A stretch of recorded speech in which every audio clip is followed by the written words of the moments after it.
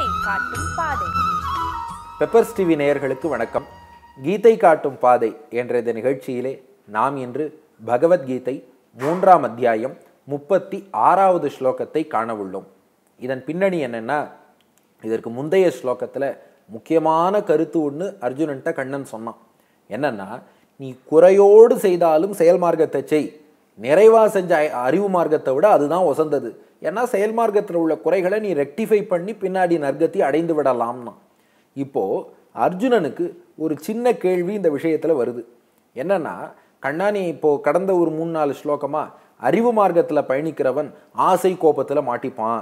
திடீர்னு உலகியல் ஆசை வந்துடும் அந்த உலகியல் ஆசையில் மாட்டினா மார்க்கமே விலகிடும். இப்படியெல்லாம் நீ நிறைய சொல்லிட்டு வர கிருஷ்ணா எனக்கு என்ன சந்தேகம்னா ஒருத்தன் அறிவு மார்க்கத்துக்கு வரான்னா நாம் பொதுவாக இப்போ ப்ராக்டிக்கலாக பார்ப்போம். பூமியில் எத்தனையோ மனிதர்கள் வாழ்கிறார்கள்.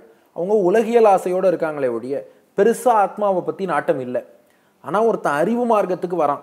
ஆத்மாவை பற்றி தெரிஞ்சுக்கிறான். அந்த ஆத்மாவை சிந்திக்கணும்னு நினைக்கிறான். ஆத்ம தரிசனம் பெறணும்னு நினைக்கிறான். அந்த நிலையில் ஒருத்தன் அறிவு மார்க்கத்துக்கு வரான்னா அவன் இயல்பாகவே கொஞ்சம் பக்குவப்பட்டவனாக தானே இருப்பான். அவன் உலகியல் ஆசைகள் அவனுக்கு இருப்பதற்கு வாய்ப்பில்லை. ஏன்னா அவன் எப்போ ஒரு ஸ்பிரிச்சுவாலிட்டின்னு வரானோ ஓரளவு உலகியல் ஆசைகளை கடந்து தானே அவன் வந்திருப்பான். உலகியல் ஆசைகளை கடந்து ஆன்மீகத்துக்கு வருபவன் அறிவு மார்க்கத்துக்கு வருபவனுக்கு மறுபடியும் உலகியல் ஆசையே வந்து அவனை மீண்டும் இழுத்துச் செல்லும் என்று சொல்கிறாயே. இது சற்றே ஏதோ ஒரு பொருந்தாமை இருப்பது போல் எனக்கு தோன்றுகிறதே கிருஷ்ணா. நீ சற்றே இதை தெளிவுபடுத்த வேண்டும் என்று அர்ஜுனன் கோருகிறான். அதுதான் மூன்றாவது அத்தியாயம் முப்பத்தி ஆறாவது ஸ்லோகம். அர்ஜுன உவாச்ச. அர்ஜுன உவாச்ச என்றால் அர்ஜுனன் சொல்கிறான் தன்னுடைய ஐயத்தை கண்ணனிடத்திலே விண்ணப்பிக்கிறான். அதகேன பிரயுக்தோயம் பாபம் சரதி பூருஷா அனிச்சன்னபி வார்ஷ்ணேய பலாதிவ நியோஜிதா என்பது ஸ்லோகம். அர்ஜுனன் சொல்கிறான் கண்ணா அறிவு மார்க்கத்தில் ஈடுபடும் ஒருவன் உலகியல் ஆசைகள் இல்லாதவனாக தான் இருப்பான். அந்த உலகியல் ஆசைகளை வென்றுவிட்டு தான் இங்கே வருவான். அப்படி இருந்தும் எதனால் தூண்டப்பட்டு இவன் அறிவு மார்க்கத்திலேருந்து நழுவி மீண்டும் உலகியல் விஷயங்களை நோக்கி போகிறான் அப்போது ஏதாவது இவனை பலவந்தமாக இழுத்து தள்ளுகிறதா?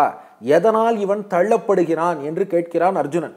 அதகேன பிரயுக்தோயம் பாபம் சரதி புருஷகா அயம் என்றால் அறிவு மார்க்கத்திலே ஈடுபடக்கூடிய இத்தகையனான ஒருவன்.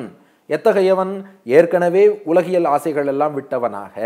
ஓரளவு அறிவு மார்க்கம் ஆத்மாவை அறிய வேண்டும்ங்கிற அந்த பக்குவம் பெற்றவனாக இருப்பவன். கேன பிரயுக்தகா எதனால் தூண்டப்படுகிறான்? பாபம் சரதி புருஷகா எதன் தூண்டுதலாலே? இந்த உலகியல் விஷயங்கள் சாமானிய அல்ப விஷயங்கள் சிற்றின்பங்கள் இதிலே அவனுடைய மனது அறிவு மார்க்கத்தை நோக்கி போன மனது எப்படி நழுவி மீண்டும் இந்த விஷயத்தை நோக்கி செல்கிறது? அனிச்சன் அப்பி என இவனுக்கு அதில் இச்சை ஒரு நாட்டம் விருப்பம் இருப்பதற்கு வாய்ப்பில்லையே. இவன் தான் ஆத்மான்னு தேடி வந்துட்டான்ல. அப்போ இவனுக்கும் அதில் ஆசை இல்லை. அனிச்சன் அப்பி இவனுக்கும் ஆசை இல்லாத போலும் பலாதிவ நியோஜித்தகான் ஏதோ பலாத்காரமாக பலவந்தமாக யாராவது இவனை இழுத்துட்டு போகிறாங்களா ஏதாவது வெள்ளமா புயல் காற்றா ஏதாவது பலவந்தமாக. இப்போ பார்க்குறோமே வரிசையா நிவர் புயல்ங்கிறாங்க. அதுக்கப்புறம் புரவி புயல்னாங்க. அது கூட முதல்ல புரவி புயல் அப்படின்னு சோஷியல் மீடியாவில் வரவும் ஆனே கொஞ்சம் பயந்தேன். புரவின்னு குதிரைக்குன்னா பேர். ஒருவேளை குதிரை வேகத்தில் காத்தடிச்சா என்ன பண்ணுறதுன்னு அது பார்த்தா கடைசியில் வேறு மொழியும் அது புரவி அப்படின்னு இருக்குது. அதை நம்ம தமிழில் புரவின்னு தப்பாக நடிச்சிட்டோம் அடுத்து இன்னும் அர்ணா புயல் அடுத்தடுத்து புயல் ஜனவரி வரைக்கும் இருக்குங்கிறாங்க. அந்த மாதிரி புயல் ஏதாவது வந்து அடிச்சிட்டு போதா? இல்லை வெள்ளம் வந்து அடிச்சிட்டு போதா? எது வந்து இவனுடைய மனத்தை அடித்து கொண்டு உலகியல் விஷயத்தில் கொண்டு போய் சேர்க்கிறது? இப்போ இதான் அர்ஜுனனுடைய கேள்வி.